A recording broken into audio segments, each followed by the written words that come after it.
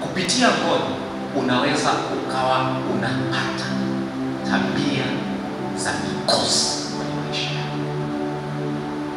Na wapendwa, niwaambie, ngono ina athari kubwa sana, sio tu ya kimwili, hata ya kiroho. Ndiyo maana Yusufu alipofika kwa Potifa, jaribio la kwanza alijaribiwa kwa ngono. Labda niwambie Yusufu, Biblia inasema alikuwa akifanikiwa sana.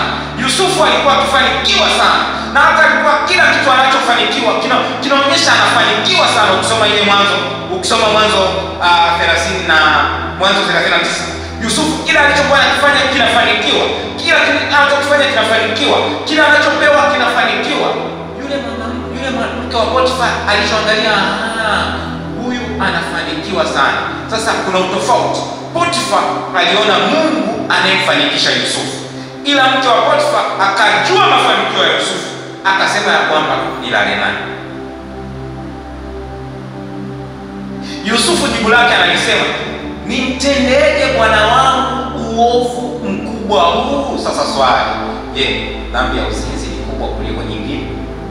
Kwa nini Yusufu anaisema ni kwamba ni uovu mkubwa huu? Maana Yusufu anajua katika hapo kutamfanya asifanikiwe tena. Kuna watu wameshindwa kusonga mbele kiroho simply because waliwahi kuhusiana na mahusiano ya kingono na watu fulani.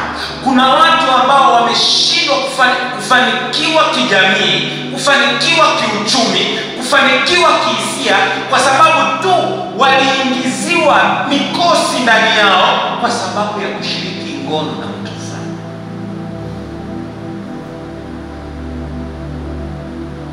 Mikosi. Njia ya kwanza ni ya uchawi, kama ambavyo Yezebeli alikuwa na uchawi. Njia ya pili ni uzinzi, unaambatana na